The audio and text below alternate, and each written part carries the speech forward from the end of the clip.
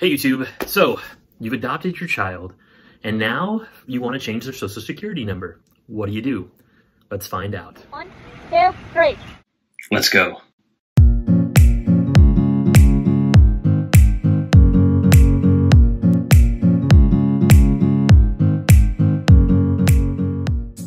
Okay, so you have adopted your child, and for various reasons, you may want to change their social security number. Why? Well, it could be that you're afraid that biological family might claim the child on taxes. It could be that you're afraid that someone will steal their identity that's somehow aware of those, their social security number with their biological family. It could be that you have other reasons to change their social security number. You're afraid maybe there's some criminal element in their family and don't want them to easily trace the child. Whatever the reason may be, you've come to the decision that their social security number needs to change. How do you do that? All right. That's what this video is about, fortunately for you. Now, I have to preface this by saying that, let me say it's, it's different at many Social Security offices because the head honchos make different decisions and that affects this. Also, I went through this process several years ago. Uh, I did verify that a lot of this has not changed, but some things may have changed. Also, I went through this process in one location in the US, and so in your location, it may be different. Good luck. Unfortunately, you're dealing with a very interesting government bureaucracy as you approach this. But here's what you should do. I'm going to be, I'll be looking at notes, by the way, throughout this video. So uh, I'll be looking down because this is complicated and I don't want to mess things up. So technically, if a child knows that they're adopted, the Social Security office will not want to change their number.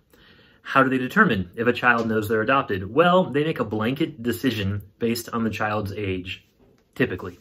And so typically this means that if the child is over the age of five, they will not change their social security number, at least not very easily. So over the age of five. Now I'm saying that and know that I changed my child's social security number after he was adopted uh, when he was somewhere around age 10. I actually waited a little bit before I did it, but I think it was about age 10 when I changed his number. So it is possible. We'll talk about how you do it. I had a letter from my social worker that said that the child needed his social security number changed, that my child needed his number changed for his safety and because there was a high likelihood of his identity being stolen.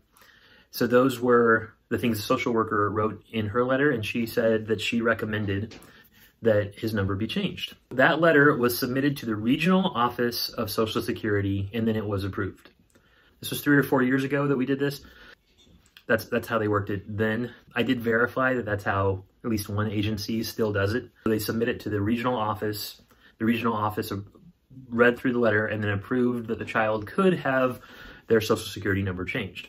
Next, you need to fill out Form SS5. Yay. SS5 and with that, you need to mail in an actual copy of the adoption decree from the county. And this adoption decree should have a seal on it, like a state seal that is colored, right? It should not be a copy. It needs to have a colored state seal on it. It must have the name changes and the new adoptive parent names listed. The other thing you mail with this is if the child's name is changed, you need to have the updated birth certificate cannot be a copy. This is the one you receive. Then you must mail in actual IDs for the adult and the child. Actual IDs. These are not copies. So think about on that list of things they send you, what you can live without for about five days or so, five to 10 days. If you and the child you're adopting have passports, right now, because oh. I'm filming this during the whole COVID thing, passports are a great option because not many people are traveling. You can live without these typically for 10 days. Passports are a good idea. That way you don't have to mail your driver's license in.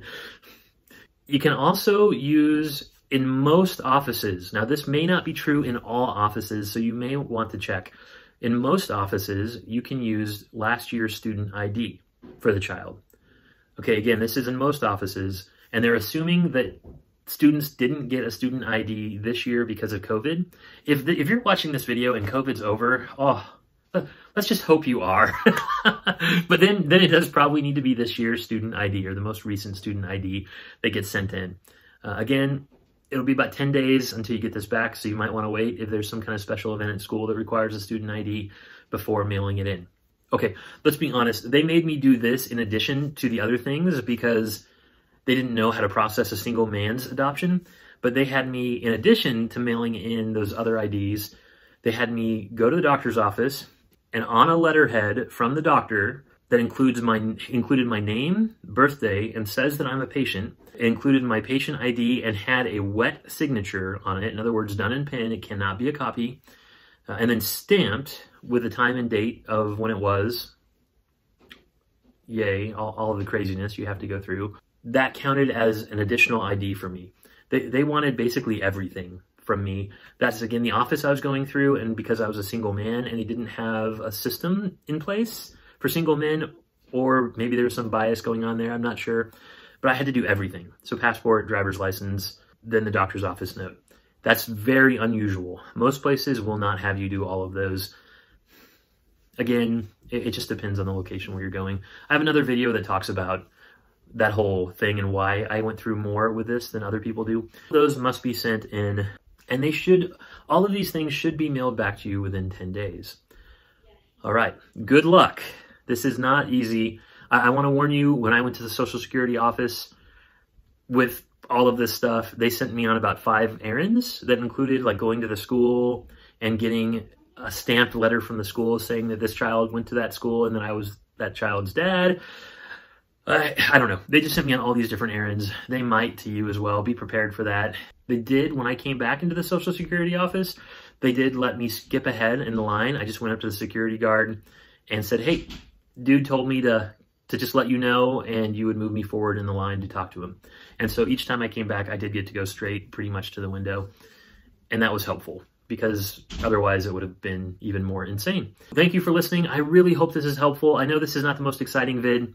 This video is not made for everyone, so we're not trying to gain a bunch of viewers from this or whatever. I just hope to be as helpful as I can and hope this information does something to help you figure out how to navigate getting your child a social security number. Again, it's a lot easier if they're under five, five or older than five, and typically offices are going to give you a harder time about changing their social security number. You'll need at least one letter from a social worker in order to do that. Some some kind of evidence that their life is in danger or that uh, their identity will probably be stolen. But the identity thing probably won't work alone. I'm telling you right now, if uh, the social worker just says, yeah, their identity is probably going to be stolen. That it depends on the office, but that may not be enough evidence to let them change an older child's social security number. Good luck. Thanks for listening.